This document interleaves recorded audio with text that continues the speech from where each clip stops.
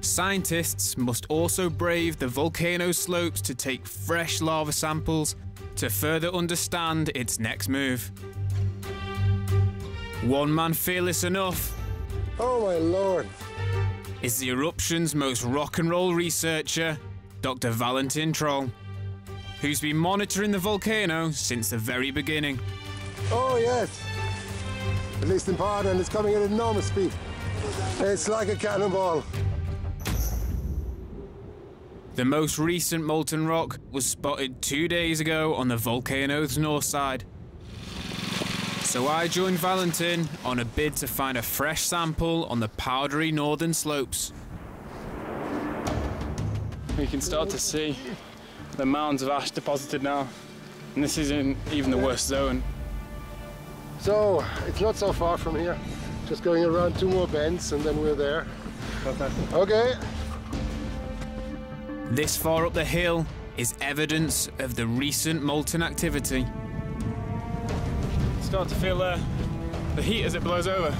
We're starting already. So guys, we have to go behind the fire. The wind is blowing it out, so we're going to sample above the fire.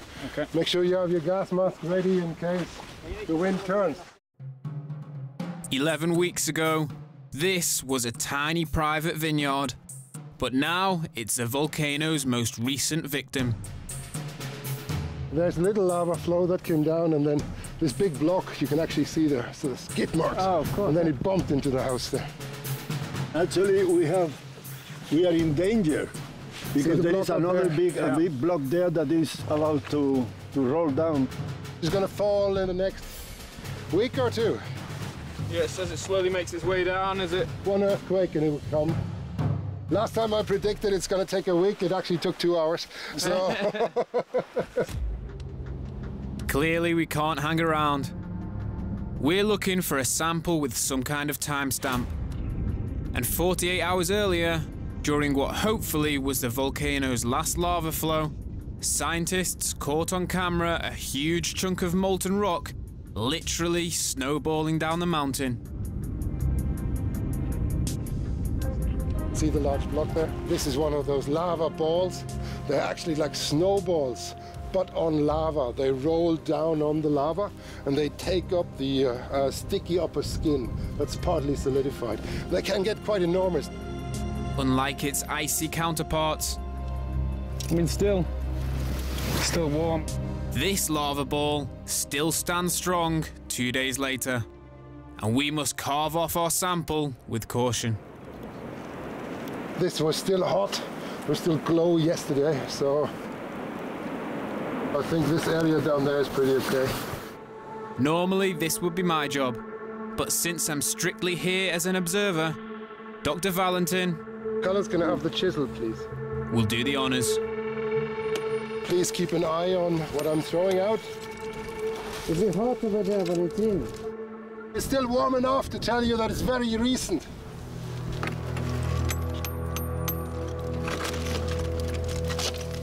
So we have some fresh lava sample here. But what's important to us is the minerals.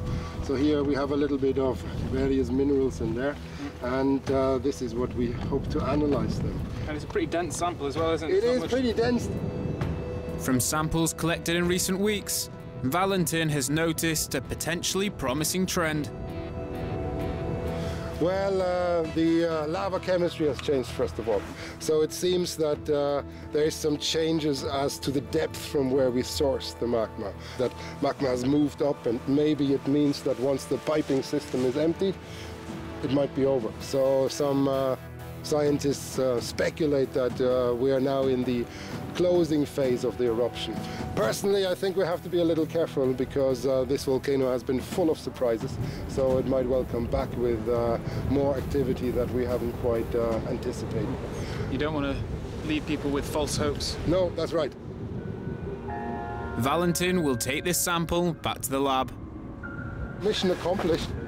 He needs to see if it reinforces the pattern of decreasing activity. But, as expected, later that night, the unexpected happens. Out of nowhere, the volcano bursts back to life. molten lava destroys more houses. The government widens the exclusion zone and the disaster response teams are scrambled.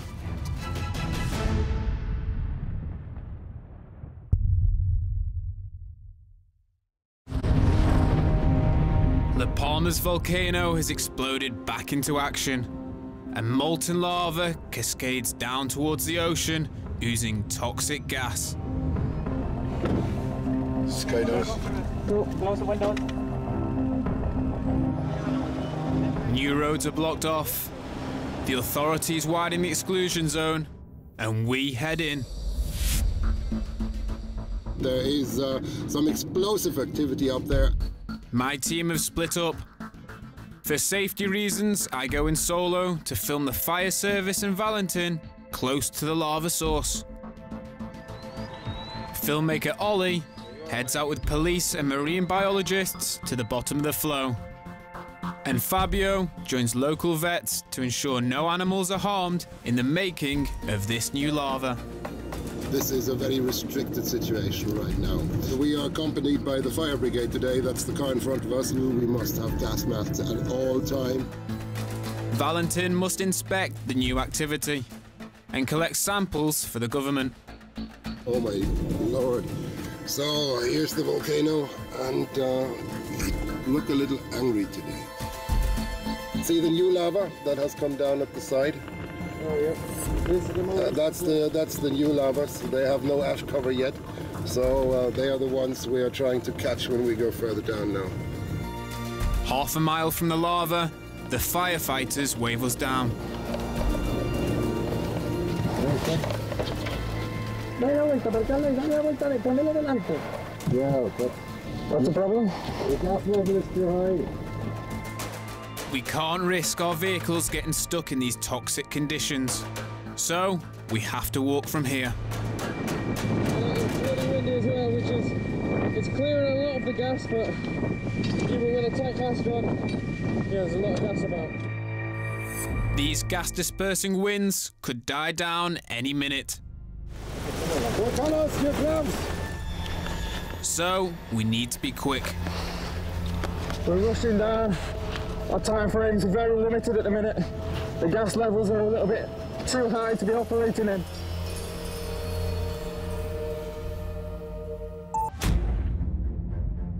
Back at the top of the flow, I'm with Valentin on the hunt for hot lava. But toxic gases linger heavy in the air, and the dispersing wind could drop at any time. And yeah, as you see, I'm now the cameraman as well. That's because we don't. This area is unsafe to take the whole crew into, so we stripped down the team, and we're just heading in here as light as possible.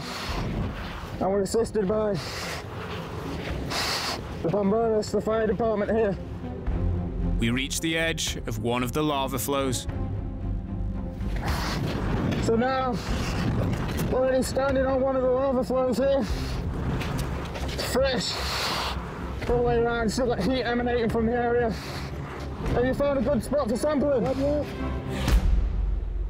We can't get close enough to the molten rock, so we must follow the flow further up the hill. You can feel the heat emanating from the lava flow. I mean, this is all fresh material, and just over the hill there, that will still be flowing. Holes in the ground everywhere with roofing tiles. It makes you realise you actually stood on a roof. And what you see now is the lava flow at our height, and it's completely ripped through every building. So yeah, found uh, something that looks suitable yet. Well, it's little young, so it's pretty good, but we haven't found the actual flow yet.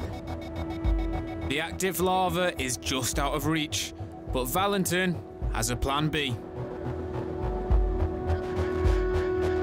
We cannot cross the lava flow here, it's too dangerous in order to get to the active channel. So we're trying to go around the lobe that stops beyond the cemetery and trying to approach it from below. But we need to hurry up because the wind is subsiding and gases are beginning to pool. you might be able to see that that bluey haze over there is actually very poisonous. So all, all that bluey tinge is the sulfur you can see suspended in the air in gas form. So we don't we don't have long to be here in a matter of minutes, and it just looks like a apocalyptic film.